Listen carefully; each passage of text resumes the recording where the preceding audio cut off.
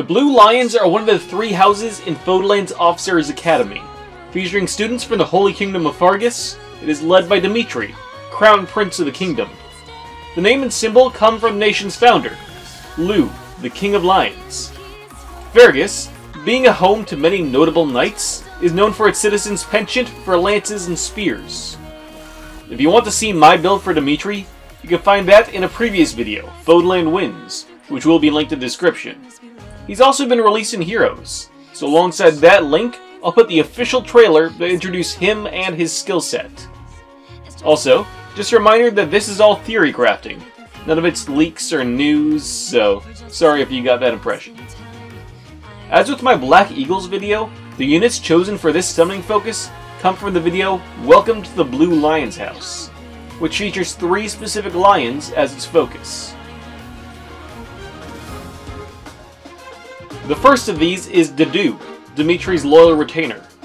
He originally hails from an area of Faerghus called Duscur, which was destroyed after it was blamed for the assassination of Dimitri's father, as well as a number of other nobles. Dedue was among the few survivors, saved by the passionate Dimitri. His backstory and appearance have some similarities to Ogma from the Archanea games, though Ogma was a slave instead of a member of a genocided group. Dedue starts three houses with a D plus rank in axes and a D in armor, both of which are strong skills for him. Because of that, his Academy version has been determined to be an axe-wielding armor unit. Without much knowledge of the weapons of the game, I gave Dedue a hammer to deal with armored units. His assist skill is Swap, a skill commonly given to those who would step in front of their allies during battle in order to defend them, something Dedue would be willing to do for Dimitri.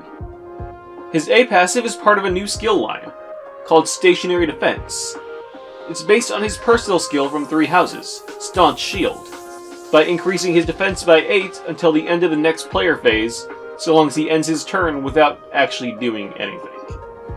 Due to his noticeably high defense, as well as the defense increasing A skill, adding defense opening as his C skill in order to raise the defense of his allies seems like a smart move, both strategy and flavor-wise.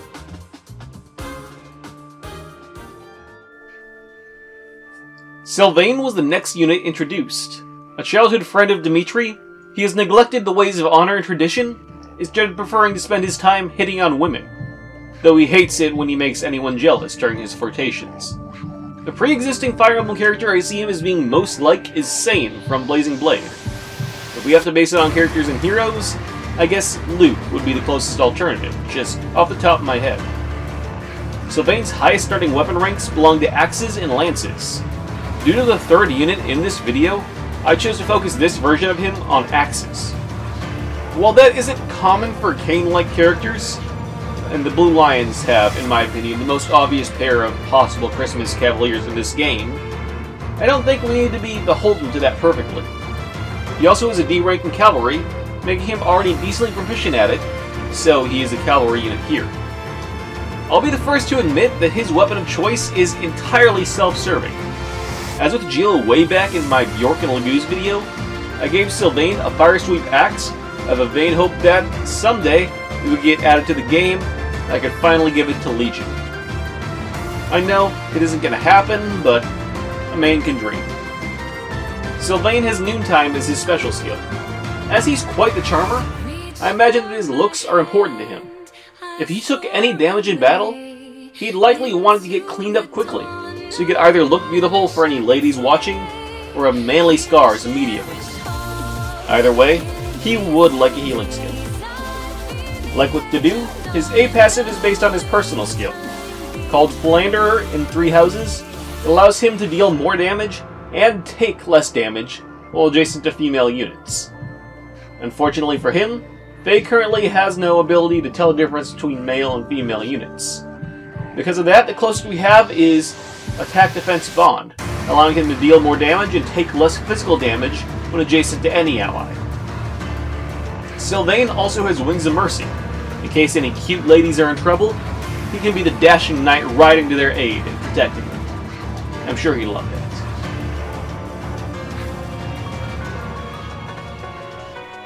The last unit in this episode of Focus Emblem is Ingrid, another childhood friend of Dimitri Sylvain and Felix, She is the daughter of Count Galatia of Faerghus. While she is betrothed to another noble at the age of 13, he was killed soon after, during the tragedy of Duscur. This led to Ingrid's prejudice against survivors of Duscur, possibly including the Dedue. Her family is also pushing her to marry soon, as despite being noble, they're falling on hard times as the game begins. Due to the marriage part at the end, she appears to have similar motivations to Charlotte, though her personality and backstory still have wide differences from the Money Maiden. Ingrid is also the other half of the Christmas Cav pair I mentioned earlier, being the Abel to Sylvain's Cain.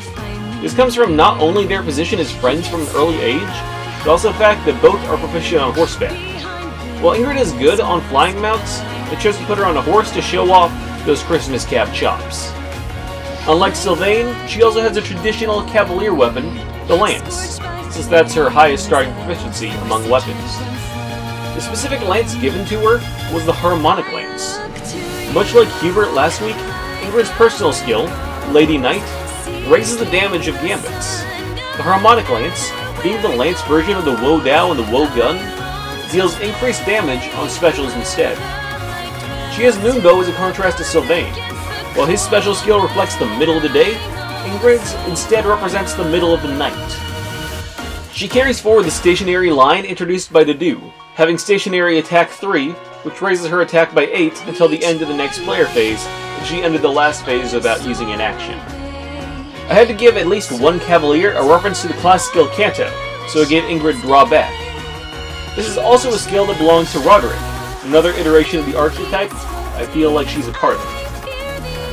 Finally, due to her admittedly not overly high, but still definitely respectable speed, she carries Speed Smoke 3 as her C skill, making her this focus's 5 skill unit. Remember that over last weekend, I made a video about units from the Black Eagles called Holy Justice, which is linked in the description below. That sits alongside Fodlan Winds, the video where I gave my heroes' interpretations of the Three Houses Lords before their release in Heroes. I hope to have my next video, the last Three Houses video for the time being, released on Saturday, featuring units from the Golden Deer. So keep an eye out for that one. Until next time, happy summoning!